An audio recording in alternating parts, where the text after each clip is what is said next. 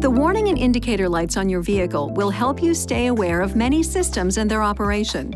Please see your owner's manual for important safety information, system limitations, and additional operating information.